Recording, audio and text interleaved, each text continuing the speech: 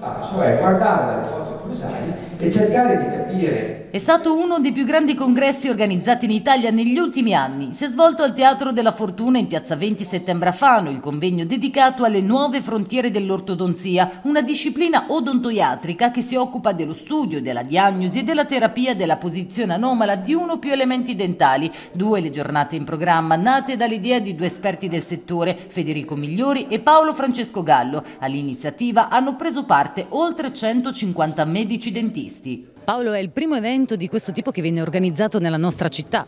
Sì, dai, questa è una particolarità di quello che siamo riusciti a fare. Solitamente sono eventi, congressi che vengono fatti in città diciamo, più quotate, più famose, più grosse, più raggiungibili.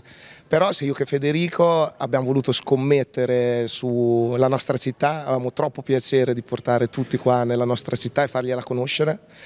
E dai, il risultato che abbiamo avuto ci riempie d'orgoglio abbiamo entrambi avuto la possibilità di parlare in tantissimi posti, anche in giro per il mondo, e, ma non vi nascondo che ieri parlare da, davanti ai nostri figli, nella nostra città, è qualcosa che ci ha fatto un grandissimo piacere. E da dove provengono questi dentisti? Ma in realtà siamo da veramente tutta Italia, passando da Aosta alla più profonda Sicilia e qualcuno ha fatto dei viaggi della speranza per riuscire a raggiungersi, però dai, questo ci fa un enorme piacere. Federico, quali sono stati i temi trattati?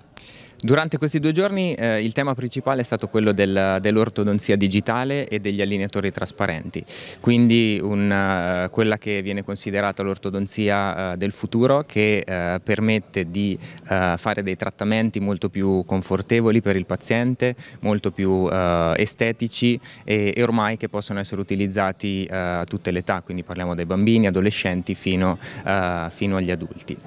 E sono intervenuti speaker internazionali, speaker eh, di caratura diciamo, molto eh, importante eh, proprio a parlare di tutte queste nuove tecnologie e del, ormai l'utilizzo delle pianificazioni digitali che permettono ai pazienti di riuscire a vedere il loro trattamento futuro proprio prima di iniziare il percorso.